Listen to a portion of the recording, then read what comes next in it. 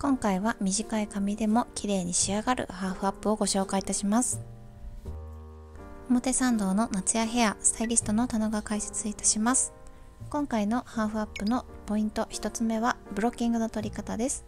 このブロッキングで綺麗なバランスを作っていきましょう。2つ目のポイントは毛束のねじり方です。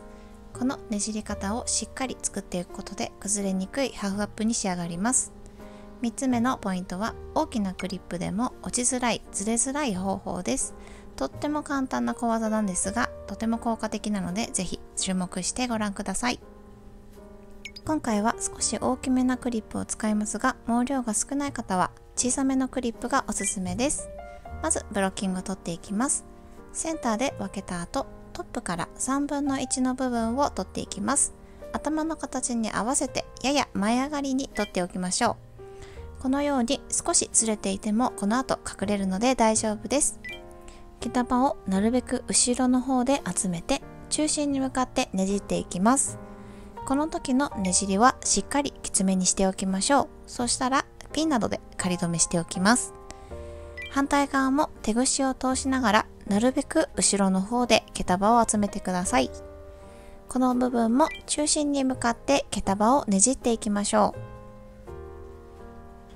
反対側の仮止めしておいた毛束も合わせて手でしっかり緩まないように押さえてください。最初にきつめにねじっておくことで後々崩れにくく仕上がりますよ。ここで大きめなバレッタを安定させる小技をご紹介いたします。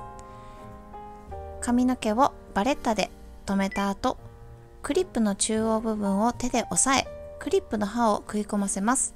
そうすることで安定しやすくなります。ほぐす時はトップだけ引き出してほぐしていきましょう。